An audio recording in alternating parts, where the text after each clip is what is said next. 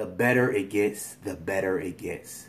The worse it gets, the worse it gets. See, everything is energy. Everything. And everything vibrates at a certain frequency. Problems vibrate at a frequency. Success vibrates at a frequency. Poverty vibrates at a frequency. And so does prosperity. It vibrates at a certain rate. If you want more good things, more prosperity, more happiness into your life, you must vibrate at the same rate as those things.